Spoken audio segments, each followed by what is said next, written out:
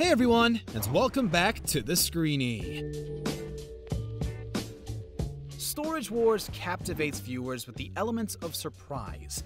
When buyers bid on these units, they really have no idea what the contents are worth. If they're lucky, they'll get a glimpse at what's inside before placing an offer. Sometimes they're left down and out of pocket, but on other occasions, the dankest, darkest containers can look like busts but hold some seriously valuable items. Join us as we take a look at 10 trash containers with hidden gems on Storage Wars. Before we begin, do us a favor by clicking that like button and subscribe to the channel so you don't miss a video on your favorite TV shows. Number 10. Model Example At this point, it's a disaster because I'm not finding anything good.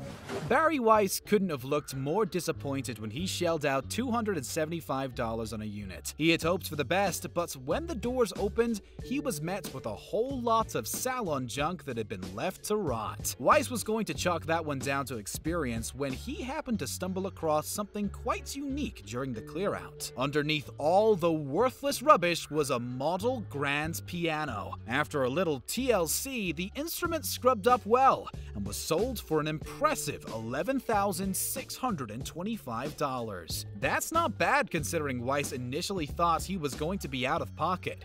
Is it us, or are we in the wrong business here? It might be time to visit an auction or three. Number 9. Hawkeye Hester. I don't know. I'm not sure. They think I'm not interested, but I'm interested. But I've got my own set of tricks. Dave Hester is one of the most notorious cast members of Storage Wars, known for his bullying tactics. When he knows that other people are bidding on a container, he'll bid up the price of it just to make it difficult for them. He might not even want it, but he gets a kick from seeing people struggle. Nice, huh? Annoyingly, Hester also does pretty well for himself. After looking at one units that seemed to be full of broken vending machines, it seems like a bust. However, Hester soon noticed that behind all of the broken metal were some brand new vending machines that had never been used. He managed to snap the units up for $1,300 and sold the working machines for a tidy $28,000. Not bad for a quick deal, is it? It's true what they say, nice guys really do finish last after all. Too bad for the other bidders, but their loss is Hester's gain. Number 8. Buried Treasure. Got a little fancy ride. We can make our way up over there. I hope so, because you know we like riding in style. Might remember that Barry Weiss had a short lived spin off show called Buried Treasure for a little while. Unfortunately, the show was a complete failure and Weiss soon returned to Storage Wars. Just prior to leaving to film his standalone series, the businessman managed to make himself some serious cash. The storage unit itself looked completely messed up. Not only was it falling apart, but it was full of broken car and motorcycle parts. What good was going to come of that? It definitely seems like it was going to be a wipeout judging by the state of the unit, but how wrong Weiss was. It soon became apparent that after a good rummage through the hall, there was money to be made. The lucky guy sold some of the parts for $10,000 profit. Jealous? Yep, us too. Number 7. Jarrod's Girl. I told you it was a good unit. No, you didn't. Yeah, I told you, remember? you were nervous. I wasn't nervous at all. Jarrod Schulz and wife Brandi thought they were on to make some big money when they purchased a unit packed full of furniture. They had hoped to sell it to some of their female customers, but it soon became clear that it was just a load of rubbish. It was a mirage, said Jared on the show. It looks good from the door, but as soon as you got inside, it's crap. The duo was half heartedly looking through their expensive mistake when Brandi discovered two green naked lady bookends and lamps in a dresser drawer. They were actually pieces by artist Arthur von Frankenberg and sold for around $2,900. Thankfully for Jarrod and Brandi, they managed to turn a profit after all, when it looked like all hope was lost at first glance. It was an unusual find and one they desperately needed to save the day. Number 6. Amazing Ivory. You can see the yellowing, which is natural ivory. That's what's more, good. more Nice. desirable, Yeah, right? makes it more desirable. Nice. Cousins Jorgen and Kristen are two of the most entertaining buyers on the show. They're always in good spirits, happily working to find something that evens out their bank balance. It looks like they'd made an error on this unit full of household junk. As they were sorting through the items, they stumbled across a shoebox full of intricately carved ivory, dominoes, and ornaments. They quickly sought out an expert for advice who warns them of the dangers of selling ivory in different cities, as the trade is now illegal. Luckily, as the dominoes were old, they were able to sell them right there in Miami for an estimated $750. The two were over the moon with their purchase, which saw them make a profit on what would have been a loss. Ivory products are frowned upon by many people, though, as you have to kill elephants to get it. That's cool. Number 5. Thank you very much. I just hit the jackpot. Joseph just doubled my profit by telling me I need to separate these newspapers. I could have cheated myself out a huge amount of money. If you buy a storage unit for a few hundred bucks and open it to see nothing but boxes upon boxes of dusty old newspapers, then you're probably going to want to cry. That's not the kind of paper you're looking for unless you're moving house and need something to wrap up the china with. We all thought that Dave Hester was getting some serious comeuppance for being such a D-bag, but of course, Hester came out on top once again. Only Hester could spend $750 on a unit full of newspapers only to discover that he was sitting on a gold mine. The papers turned out to be authentic tabloids from the day Elvis died. Each one covered the story in August 16, 1977. When Hester got them all valued, he almost fell over.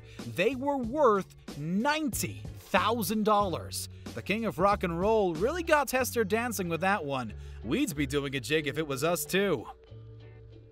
Number 4. Ready Player One.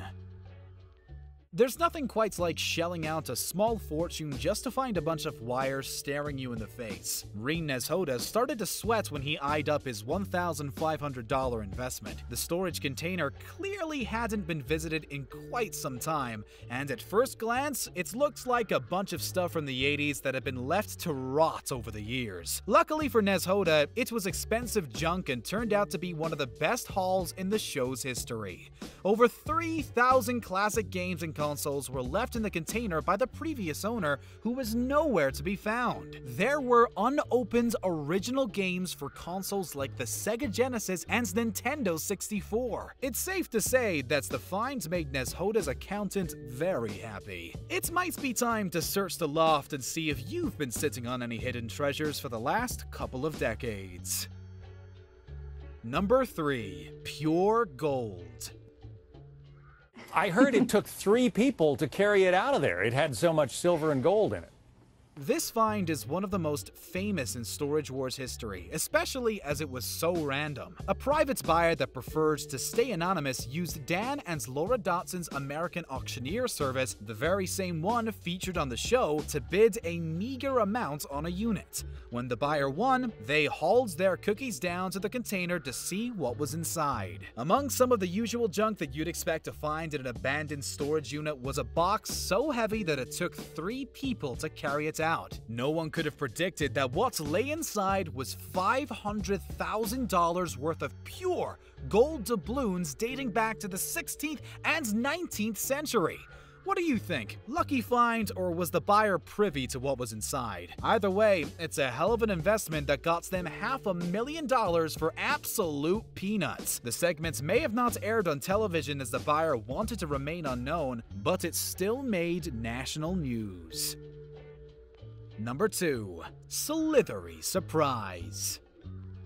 Is everybody curious what's going on in here? Yeah, yeah, yeah. Are you, are you cool with these yeah, guys right sticking around? Yeah, yeah. I think I made a Come good on, choice. Brandon, let's see what you got. This next entry may have not been an incredibly valuable hidden gem, but it certainly was a surprise that's worth mentioning. Brandon and Lori were intrigued by a unit that had bright lights and white curtains blocking the view. Other buyers were interested too, but were ultimately dissuaded by the idea that it might contain illegal drugs. The couple bought the unit for a few hundred bucks, thinking they could at least make their money back selling the lights if that was the case.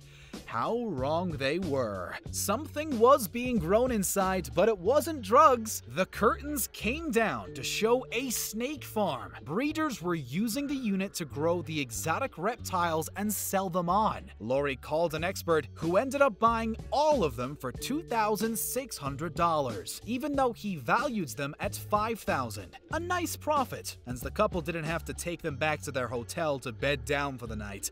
Everyone's a winner this time around. Number 1.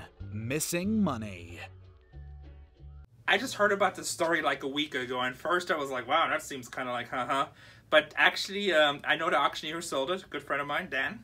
Dan Dotson with American Auctioneer. Yeah, so they put Dan it out Laura. there. Picture this.